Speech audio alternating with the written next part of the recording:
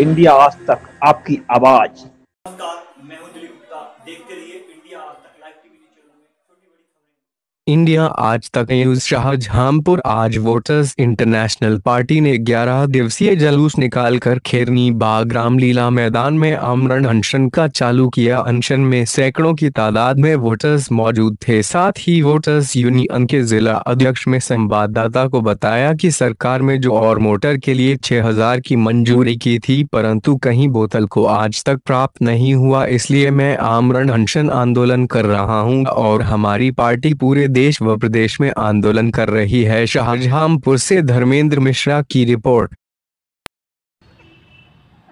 आपका शुभ नाम क्या है? जी मेरा नाम वैज्ञानिक भानु प्रताप विश्वात्मा जी। आप किस संगठन के लिए कार्य कर रहे हैं?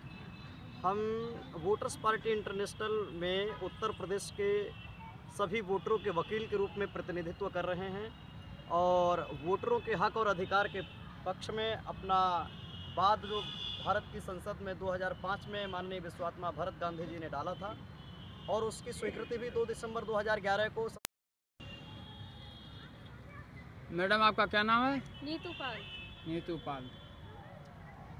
आप इस वोटर पार्टी के लिए आंदोलन में भाग ले रही हैं। आपका क्या उद्देश्य है? मेरा उद्देश्य है हर वोटर को छः हज़ार रुपया मिलना चाहिए। Voter party international